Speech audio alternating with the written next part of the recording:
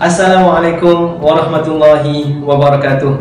Apa khabar anda di luar sana? Saya Hamidi Zamri daripada Akademi Magnet Success. Topik yang saya pilih untuk dikongsikan pada kali ini ialah langkah-langkah untuk membina azam dan bagaimana untuk konsisten dengannya. Yang pertama, yang pertama tuan-tuan puan ialah membuat keputusan.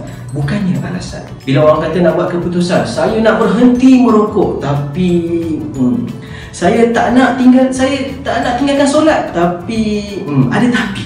Tapi tapi inilah yang menyebabkan kita beralasan. Menyebabkan otak kita sukar untuk membuat keputusan. Keputusan berasal daripada perkataan putus. Dalam bahasa Inggeris decision juga berasal daripada perkataan decide. Yang mana berasal daripada perkataan Latin yang bermaksud putus di di putus. Dan juga dalam bahasa Arab juga bermaksud qat'an yang berasal dari perkataan qata' putus. Bahasa Melayu kata putus bahasa Inggeris kata putus bahasa Arab kata putus. Maka tiada sebab untuk kita beralasan dalam membuat keputusan. Jika kita dah kata saya nak turunkan berat badan maka putuslah keputusan untuk menurunkan berat badan. Tiada alasan untuk menambah berat badan anda.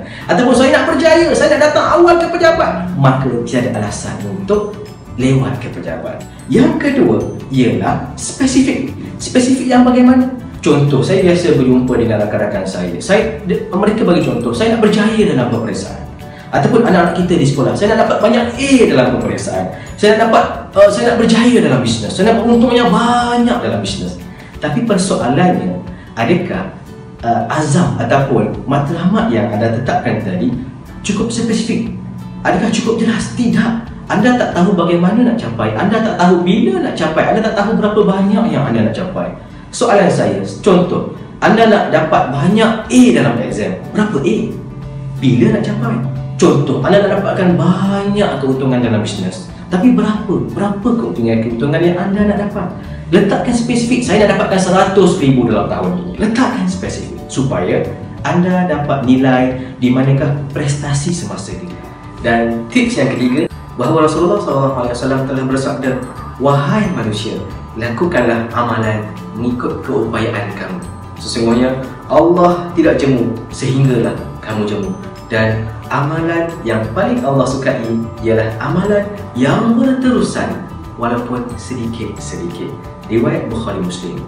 Tak salah kita meletakkan azam yang drastik, azam yang besar, azam yang gila-gila. Tetapi biarlah kita bermula sedikit demi sedikit. Asalkan kita konsisten untuk mencapai azam tadi insyaAllah. Jadi tuan-tuan dan puan selamat tahun baru 2017 pastikan kita membuat keputusan bukannya beralasan dan pastikan kita merancang dengan spesifik. Dan pastikan kita mulakan sedikit demi sedikit.